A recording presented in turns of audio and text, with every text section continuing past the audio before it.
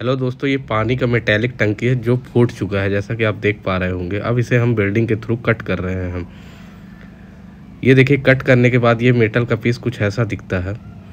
Then उसके बाद हम लोग एक मेटेलिक सीट कट कर रहे हैं, जो कि इस होल में हम लोग वेल्ड कर देंगे। तो ये हमने मेटेलिक सीट देखिए कट कर ली है।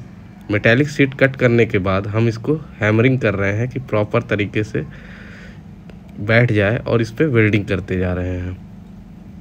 जिससे कि क्या होगा कि वाटर लीकेज नहीं होगा। अब हम लोग प्रिकॉशनरी इसमें एम सील लगा रहे हैं।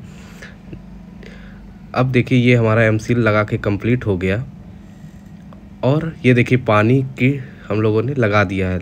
तब भी अब इसमें पानी का कोई भी लीकेज नहीं हो रहा। है मतलब ये हमारा वेल्डिंग सक्सेसफुल हो गया।